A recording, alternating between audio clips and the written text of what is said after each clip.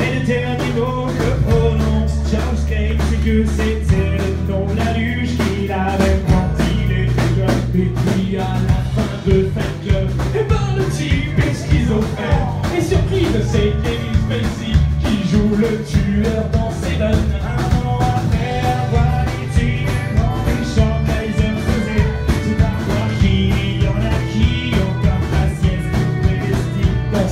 de déchancer le type au milieu qui est allongé. La c'est le père de Luc et Princesse Léa.